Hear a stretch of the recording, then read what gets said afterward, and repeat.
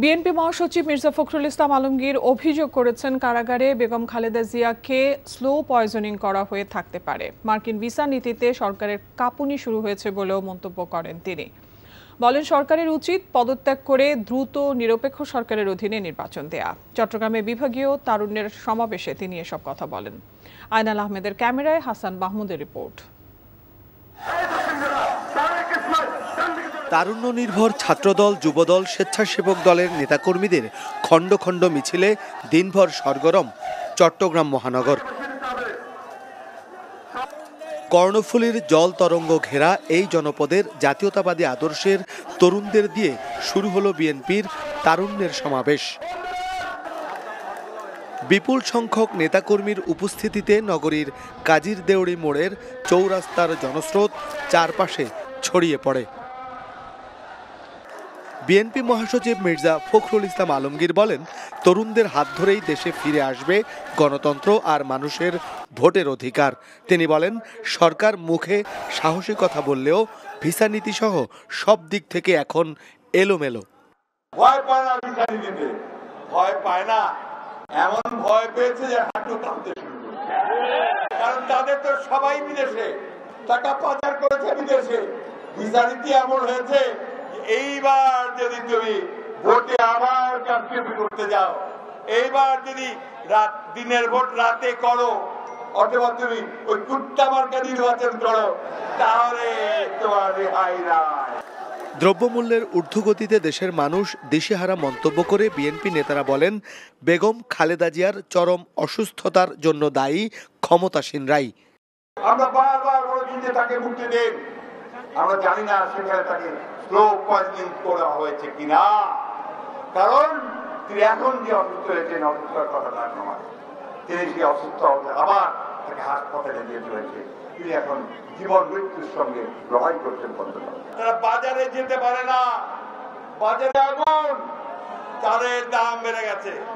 তেলের দাম বেড়েছে, সবজির দাম বেড়েছে। তারা বাংলাদেশের মানুষের পকেট কেটে যত অর্থ টাকা উপার্জন করেছে, সব বাইরে পাঠিয়ে দিয়েছে। আমরা সাহস নিয়ে, বুকে সাহস নিয়ে আমরাই থাকব রাস্তায়। আর যাদের কোনো জনসমর্থন নাই, যারা জনগণ থেকে বিচ্ছিন্ন, যাদের রাজনীতি ভোট চুরি করা, আরে পালাবে তো তারা। বক্তারা বলেন বঙ্গোপসাগরের উত্তাল জলরাশিতে সকল অপশক্তি শীঘ্রই পরাজিত হয়ে মানুষের অধিকার ফিরবে। নিরপেক্ষ সরকারের অধীনে নির্বাচনের দাবি সহ বিএনপির দশ দফা দাবিকে তারুণ্যের সমাবেশ আরও এগিয়ে নিয়ে যাবে এমন প্রত্যাশার ঝাঁপি খুলে দলটি সারা দেশে তারুণ্যের এই সমাবেশের আয়োজন করেছে। তারা মনে করেন তারুণ্যের হাত ধরেই সমাবেশটি এবং তাদের আন্দোলনগুলো চূড়ান্ত রূপ পাবে। Hasan Mahmud, NTV news, Chittagong. Evercare হাসপাতালে চিকিৎসাধীন বিএনপি চেয়ারপারসন বেগম খালেদা জিয়ার শারীরিক অবস্থা স্থিতিশীল বলে জানিয়েছেন চিকিৎসকরা। মেডিকেল বোর্ডের বিশেষজ্ঞ চিকিৎসকদের নিবিড় পর্যবেক্ষণে তার চিকিৎসা চলছে। গতরাতে অধ্যাপক শাহাবুদ্দিন তালুকদারের নেতৃত্বে মেডিকেল বোর্ডের সদস্যরা বৈঠক করে বেগম খালেদা জিয়ার রিপোর্টগুলো পর্যালোচনা করেছেন। বোর্ড সিদ্ধান্ত নিয়েছে, বর্তমানে যে চিকিৎসা চলছে সেটা চলবে, সাথে কিছু নতুন ওষুধ যুক্ত করা হয়েছে। বিএনপি চেয়ারপারসনের ব্যক্তিগত চিকিৎসক doctor A Z M Zahid Hossain জানিয়েছেন, ভর্তির দিনের চেয়ে বেগম জিয়ার অবস্থা স্থিতিশীল। মেডিকেল বোর্ডের খালেদা জিয়ার পুত্রবধূ ডাক্তার জোবায়দা রহমান এবং বাইরের কয়েকজন বিশেষজ্ঞরাও রয়েছেন। দীর্ঘদিন ধরে আর্থ্রাইটিস, ডায়াবেটিস, কিডনি জটিলতা, হৃদরোগ ও লিভার সিরোসিসে ভুগছেন সাবেক এই প্রধানমন্ত্রী। হঠাৎ অসুস্থ হয়ে পড়লে গেল সোমবার রাতে হাসপাতালে ভর্তি করা হয় তাকে। প্রধানমন্ত্রী শেখ হাসিনা বলেছেন, তার সরকার তৈরি পোশাক খাতের শ্রমিকদের জন্য অনেক কাজ করেছে। তিনি বলেন, বিশ্বের পরিবেশ বান্ধব একশো কারখানার অর্ধেকের বেশি বাংলাদেশে। সুইজারল্যান্ডের জেনেভায় ওয়ার্ল্ড অফ ওয়ার্ক সামিটের প্ল্যানারি সেশনে দেয়া বক্তব্যে বাংলাদেশ থেকে আরও বেশি তৈরি পোশাক নেয়ার আহ্বান জানান। শিল্প, কারখানার নিরাপত্তা, কর্মপরিবেশ মূল্যায়ন এবং এর ভিত্তিতে রপ্তানিমুখী কারখানাগুলো সংস্কার করেছি। বিশ্বের একশোটি শ্রেষ্ঠ পরিবেশ বান্ধব পোশাক কারখানার অর্ধেকের বেশি এখন বাংলাদেশে। এই অর্জনকে আরও এগিয়ে নিতে আমরা গ্রিন ফ্যাক্টরি অ্যাওয়ার্ড নীতিমালা প্রণয়ন করেছি। আমি আশা করব আন্তর্জাতিক ক্রেতারা ন্যায্য মূল্যে পণ্য কিনে এই পরিবেশ বান্ধব উদ্যোগকে আরও উৎসাহিত করবেন। দেশের সার্বিক শ্রম পরিস্থিতি, নিয়মিত পর্যবেক্ষণ ও উন্নয়নের লক্ষ্যে শ্রমিক, মালিক ও সরকারের পক্ষের প্রতিনিধিদের সমন্বয়ে ত্রিপক্ষীয় পর্যালোচনা পর্ষদ টিসিসি কাজ করছে। পোশাক শিল্পের জন্য একটি স্বতন্ত্র ত্রিপক্ষীয় পর্যালোচনা পর্ষদ ও গঠন করা হয়েছে। আমাদের সরকারি পোশাক শ্রমিকদের ন্যূনতম মজুরি এক হাজার ছয়শো টাকা ছিল। তা বৃদ্ধি করে আট হাজার টাকায় উন্নীত করা হয়েছে। আমি পরপর তিনবার সরকারে এসেছি, তিনবারই শ্রমিকদের মজুরি বৃদ্ধি করার ব্যবস্থা করেছি।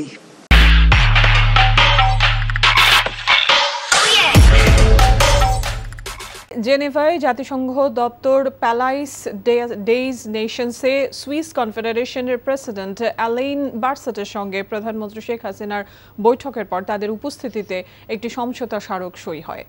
জ্ঞান বিজ্ঞানে অংশীদারিত্ব এবং দক্ষতা বৃদ্ধি শীর্ষকে এই সমঝোতা স্মারকে নিজ নিজ দেশের পক্ষে সই করেন জেনেভায় জাতিসংঘে নিযুক্ত বাংলাদেশের স্থায়ী প্রতিনিধি মোহাম্মদ শফিউর রহমান এবং সুইজারল্যান্ডের স্থায়ী প্রতিনিধি উর্গ লাউবার। পরে ব্রিফিংয়ে পররাষ্ট্রমন্ত্রী ডক্টর এ কে আব্দুল মোমেন সাংবাদিকদের বলেন, এই সমঝোতা স্মারক দক্ষতা, প্রশিক্ষণ এবং জ্ঞান বিনিময়ের পথ প্রশস্ত করবে।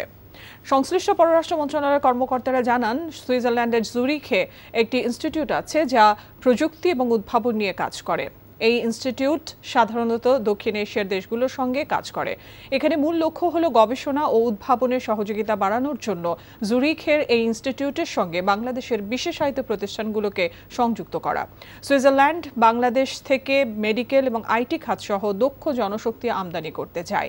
এজন্য দক্ষতা বৃদ্ধির বিষয়টি যুক্ত করা হয়েছে। রাষ্ট্রপতি মোহাম্মদ শাহাবুদ্দিন আজ দুপুরে বঙ্গভবন তোষাখানা জাদুঘর পরিদর্শন করেছেন। তিনি তোষাখানা জাদুঘর এবং সংস্কারকৃত রাষ্ট্রপতি ভবন বা বঙ্গভবনের ঐতিহাসিক স্থাপনার একটি ভিডিও প্রত্যক্ষ করেন। বঙ্গভবনকে একসময় মানুক বাড়ি বলা হতো। এরপর এটিকে গভর্নর হাউস হিসেবে গণ্য করা হয়। ইসলামিক এবং বাংলা স্থাপত্যের সঙ্গে ভিক্টোরিয়ান স্থাপত্যের এক অনন্য সমন্বয়ে নির্মিত ভবনটি এখন গণপ্রজাতন্ত্রী বাংলাদেশের রাষ্ট্রপতির অফিস এবং বাসভবন। রাষ্ট্রপতি শাহাবুদ্দিন সেখানে প্রায় ত্রিশ মিনিট অবস্থান করেন। তিনি বিভিন্ন কক্ষের স্থাপনা পরিদর্শন করেন। দোষাখানা জাদুঘর ভবনটি নানা দেশের বিভিন্ন রাষ্ট্র এবং সরকার প্রধানের উপহার এবং ঐতিহাসিক আলোকচিত্র দ্বারা সুসজ্জিত।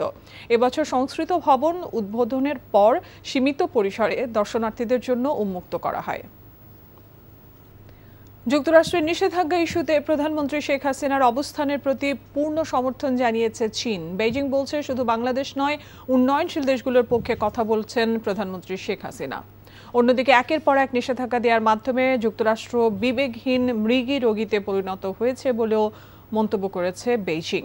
এদিকে এক ফোনালাপে, মার্কিন ও চীনা পররাষ্ট্রমন্ত্রীর মধ্যে উত্তপ্ত বাক্য বিনিময় হয় বলে জানাচ্ছে আন্তর্জাতিক গণমাধ্যমগুলো। কাজী ইফতেখার শুভর ডেস্ক রিপোর্ট। আবারও উত্তপ্ত হচ্ছে চীন এবং যুক্তরাষ্ট্রের মধ্যকার রাজনৈতিক সম্পর্ক। বেইজিংয়ের অভিযোগ, বিভিন্ন দেশের উপর একের পর এক অনৈতিক নিষেধাজ্ঞা দিচ্ছে ওয়াশিংটন।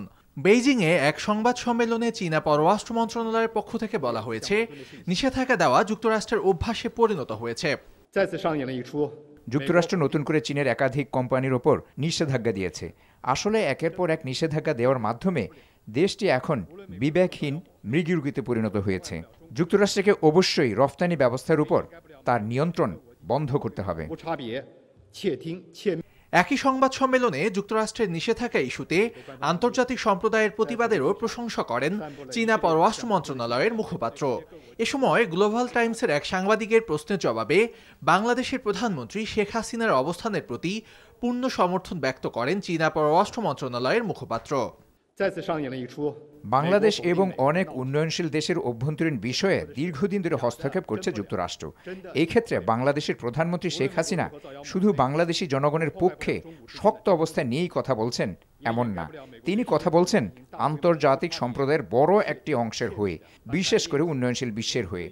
বাংলাদেশের সার্বভৌমত্ব স্বাধীনতা ভূখণ্ডের অখণ্ডতা রক্ষা অভ্যন্তরীণ ও পররাষ্ট্র বিষয়ক স্বাধীন নীতি সমুন্নত রাখতে বাংলাদেশকে আমরা দৃঢ়ভাবে সমর্থন করি। এদিকে একাধিক আন্তর্জাতিক গণমাধ্যম বলছে, বুধবার ফোনালাপে অংশ নেন যুক্তরাষ্ট্রের পররাষ্ট্রমন্ত্রী অ্যান্থনি বিলিনকেন এবং চীনা পররাষ্ট্রমন্ত্রী কিং গ্যাং। এ সময় উভয় নেতার মধ্যে উত্তপ্ত বাক্য বিনিময় হয় বলেও দাবি করা হচ্ছে। কাজিফ থেকে Shuvo NTV international desk. May মাসে দেশে পাঁচশো চৌষট্টিটি দুর্ঘটনায় পাঁচশো সাতাশ জন নিহত হয়েছে এমন তথ্য দিয়ে যাত্রী কল্যাণ সমিতি বলছে, এসব দুর্ঘটনার অর্ধেকেরও বেশি গাড়ি চাপার ঘটনা, আর সবচেয়ে বেশি দুর্ঘটনা হয়েছে মোটরসাইকেলে। এদিকে রাজধানীতে সড়ক নিরাপত্তা প্রকল্পের উদ্বোধনী অনুষ্ঠানে সড়ক ও সেতু মন্ত্রী ওবায়দুল কাদের যোগাযোগ ব্যবস্থায় নজিরবিহীন উন্নয়নের পরও দুর্ঘটনার কারণে স্বস্তি না মেলায় আক্ষেপ প্রকাশ করেন। মুশফিকুস সালিহিনের রিপোর্ট। মে মাসের দুর্ঘটনার সার্বিক চিত্র তুলে ধরে যাত্রী কল্যাণ সমিতি জানায়, এক মাসে সড়ক, রেল ও নৌপথে মোট পাঁচশো চৌষট্টিটি দুর্ঘটনায় নিহত হয়েছে পাঁচশো সাতাশ জন আর আহত হয়েছে সাতশো উনআশি জন। সবচেয়ে বেশি প্রাণ ঝরেছে সড়কে চারশো আটষট্টি জনের। রেলপথে তেতাল্লিশ জন আর নৌপথে ষোলো জন নিহত আর তিনজনের হদিস মেলেনি। সবচেয়ে বেশি দুর্ঘটনার কবলে পড়েছে মোটরসাইকেল। মে মাসের দুর্ঘটনার প্রায় আটত্রিশ শতাংশ হয়েছে মোটরসাইকেলে। নিহত হয়েছেন একশো একাশি জন। নিহতের প্রায় উনচল্লিশ শতাংশ আর আহতের প্রায় পনেরো শতাংশই মোটরসাইকেল দুর্ঘটনার। গাড়ি চাপার ঘটনাই অর্ধেকের বেশি। এরপরই রয়েছে নিয়ন্ত্রণ হারিয়ে খাদে পড়া ও মুখোমুখি সংঘর্ষ। এদিকে রাজধানীর বঙ্গবন্ধু আন্তর্জাতিক সম্মেলন কেন্দ্রে সড়ক নিরাপত্তা নিয়ে বিশ্বব্যাংক ও বাংলাদেশ সরকারের যৌথ প্রকল্পের উদ্বোধনী অনুষ্ঠানে সড়ক দুর্ঘটনা নিয়ে নিজের আক্ষেপের কথা জানান সড়ক ও সেতুমন্ত্রী। আমি এত এত প্রজেক্ট মেগা প্রজেক্ট এবং এত উন্নয়ন মন্ত্রী হিসাবে করার পরও স্বস্তি পাচ্ছিলাম না এই অ্যাক্সিডেন্টের কারণে। অ্যাক্সিডেন্ট কেন? এরকমভাবে হবে এবং এটা আমরা কি এড়াতে পারি না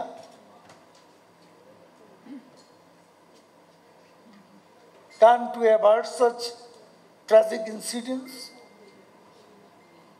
কেন পারবো না সড়ক দুর্ঘটনায় দেশে প্রতি বছর পঁয়ত্রিশ হাজার কোটি টাকা ক্ষতি হয় জানিয়ে মন্ত্রী দেশে নানা উন্নয়ন প্রকল্পের বাস্তবায়নে ধীর গতি কাটিয়ে ওঠার তাগিদ দেন। এ সময় ভুল বোঝাবুঝি কাটিয়ে সড়ক নিরাপত্তা প্রকল্পের অংশীদার হওয়ায় বিশ্বব্যাংককে ধন্যবাদ জানান তিনি।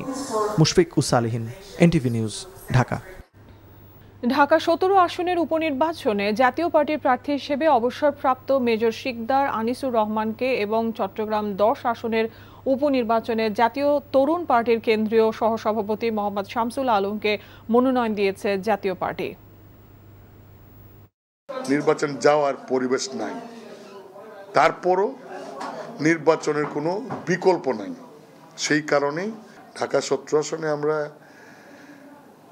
রিটায়ার্ড মেজর আনিস শিকদার আনিসুর রহমান এবং চট্টগ্রাম দশ আসনে মোহাম্মদ শামসুল আলমকে আমাদের সংসদীয় বোর্ডের পক্ষ থেকে মনোনয়ন দেওয়ার জন্য একমতে আমরা সিদ্ধান্ত নিয়েছি। দ্বিশতকের সুযোগ হাতছাড়া হলেও কোনো আক্ষেপ নেই নাজমুল শান্তর, বরং যতটুকু হয়েছে তাতেই খুশি তিনি। আফগানিস্তানের বিপক্ষে কাল দ্বিতীয় দিনে মুশফিক ও মিরাজ জুটির উপর নির্ভর করছে বড় স্কোর পাওয়া। দিন শেষে প্রতিক্রিয়ায় একথা জানান শান্ত। না, অবশ্যই টেস্ট ম্যাচে সেঞ্চুরি অবশ্যই স্পেশাল তারপর আমাদের নিজেদের মাঠে খেলা হইল, অবশ্যই এটা তো স্পেশাল আমাদের মানে one of the best ground আমার মনে হয় সো অবশ্যই এটা তো স্পেশাল এখন যেভাবে মুশফিক ভাই এবং মিরাজ ব্যাটিং করছে, আমার মনে হয় পার্টনারশিপটা যদি বড় হয়, তাহলে ওই মাঝখানের যে দু একটা উইকেট আমাদের গিয়েছে, ওইটা হয়তো মনে হবে না যে আমরা খারাপ অবস্থায় আছি।